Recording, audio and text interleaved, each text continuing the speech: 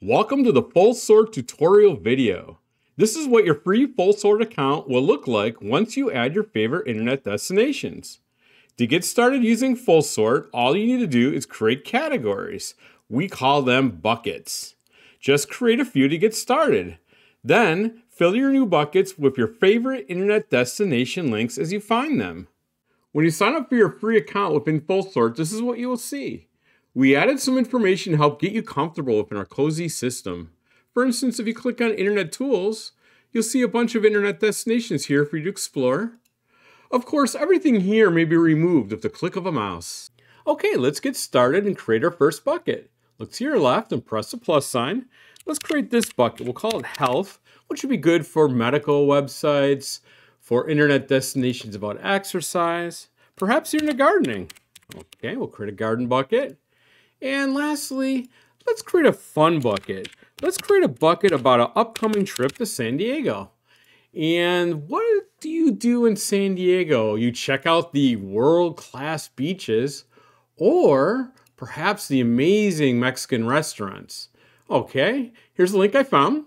Now you could add your own title or you can have our system grab the title from the internet destination directly. Here's the bucket we'll go in. You can add some notes. Save. Now, this title is a little bit long. Let's, let's make it shorter, make it look nice. We'll take that out, press save. Perfect. Well, that's it. You know, you now know how to use full sort. That's it. You can stop the video right now, or you can continue and learn some more. Let's continue and take a look at the Explorer area. Here under Explore are buckets created by other full sort users who just want to make their bucket public because they're proud of them. Let's see. Perhaps you're into buffalo wings. Let's learn about buffalo wings. Here's everything you can ever want to know about buffalo wings. What else here? Let's see. Oh, I know, Denzel Washington. Who doesn't like Denzel Washington? Yeah, this bucket looks really cool. I'm going to subscribe to it and confirm. And as you can see, I now have more information about Denzel Washington. Perhaps I want to copy this Denzel Washington bucket and make changes on my own for my own private use. We'll press confirm, and there we go. I can make changes to this bucket.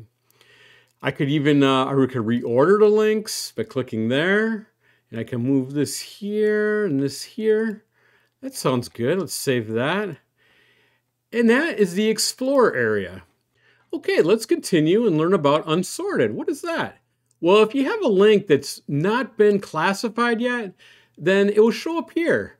It's like a catch-all. So what you do is you uh, click on the link and you put it in the bucket it belongs, press save, and it's no longer unsorted. What else can you do on full sort? Well, you can manage your buckets. You can change the order. And this is very helpful if you have lots of buckets. So say we want to move San Diego to the bottom, press save, and there it is. Okay, what else can we do? Well, it was over here, uh, you click these three dots, and you can reorder your links. If you want to reorder the actual links, not the buckets, but the links, you can do that too, no problem. Also, over here, if you want to change the columns, you want to make it three columns. Now, if you have a lot of links, that would show up better. Let me click on this and we're going to change the number of columns to three. And there you go, simple, quick. Uh, what else can you do? Well, if you get lost, you could click on the help button. Any, any uh, section has help. Here's the help here. Uh, if you're under a bucket and you're confused, just go to help. It's easy. Of course, you can, as you can see here, you can delete buckets. You can share buckets. Just click on a share and you can make the bucket public which would have to be approved by us to make sure, because everybody's going to see this bucket. It has to be clean and neat and appropriate, and we will approve it. Uh, you can make it, keep it private. All you need to know is the email address of another full sort user, and you can share your bucket with them. Now, if you want to edit a link, that's not a problem. Just click on this here, and you can change your URL, the title, you can change the bucket the internet destination goes into. You can change notes, add notes.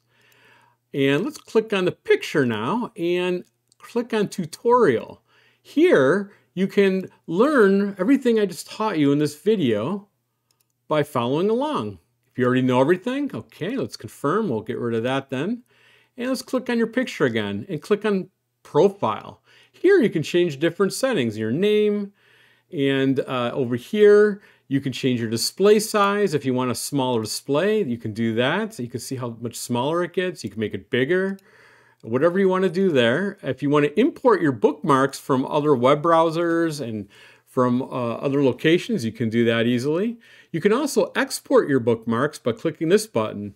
And we don't hide this from you. We, if you want to leave full sort, we do not make it tough. All you do is click this button and you save your bookmarks and you're off full sort.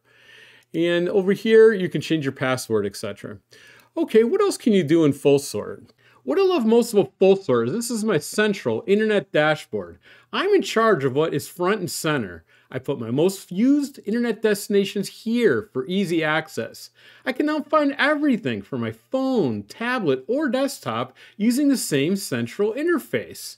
To customize my dashboard, I just need to look through my buckets and click the star button, which will place my favorites on my central internet dashboard. And as you can see right here, I just added this to my central internet dashboard.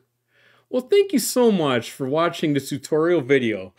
Please feel free to visit us and let us know your thoughts anytime.